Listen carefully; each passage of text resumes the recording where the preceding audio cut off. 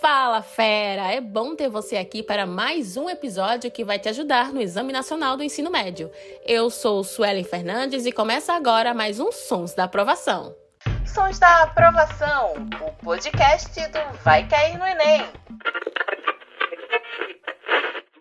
Prova do Enem aborda muitas situações do nosso dia a dia e neste episódio te explicamos como a ação humana interfere na atividade climática. O homem destrói as matas, os ecossistemas, o meio ambiente. Tudo acaba contribuindo para que até o local em que vivemos seja afetado. Chuvas torrenciais, alagamentos, deslizamentos de encostas, assoreamento e poluição dos rios acabam sendo algumas das consequências da falta de cuidado com o planeta. E como tudo isso cai no Enem? A resposta quem traz é o professor de Geografia e Atualidades, Marcelo Rocha.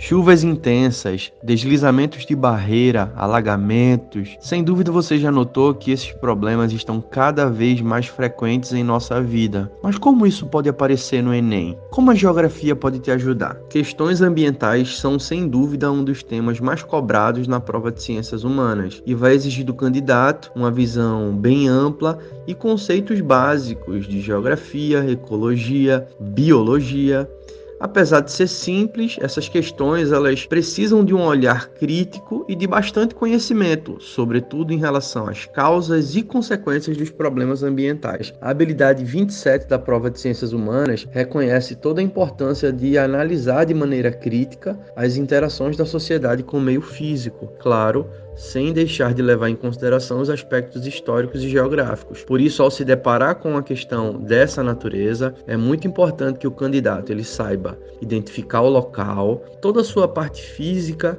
e, consequentemente, a ocupação que foi realizada ali dentro daquele espaço geográfico. Por meio dessa forma, ele vai conseguir identificar de que forma a ocupação desses meios físicos conseguiram interagir com a paisagem e provocar os tais problemas. É super importante analisar esses processos relacionados com o nosso dia a dia. Por exemplo, o que acontece na maioria das grandes cidades brasileiras quando há grandes ocorrências de chuva.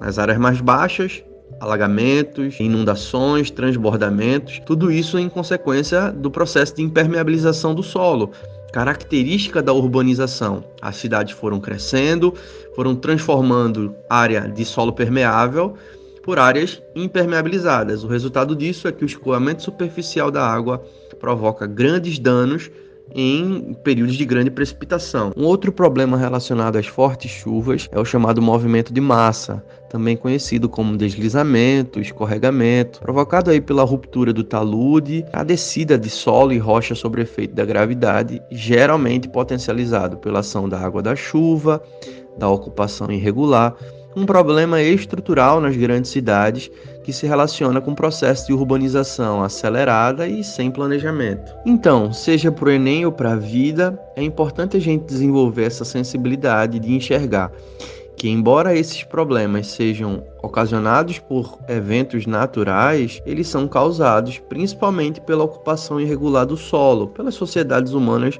como um todo e poderiam ser evitáveis mediante a adoção de políticas públicas de planejamento urbano, a preservação da vegetação nativa, conservação de encostas e assim poderíamos evitar grandes tragédias dessa natureza. Sabemos que ninguém, absolutamente ninguém, ocupa uma área de risco por mera vontade, e sim por extrema necessidade. Dessa forma, precisamos olhar para os problemas ambientais com viés social, com viés econômico, sabendo que hoje Hoje o nosso grande desafio já não é apenas explicar o mundo, e sim encontrar uma forma de transformá-lo.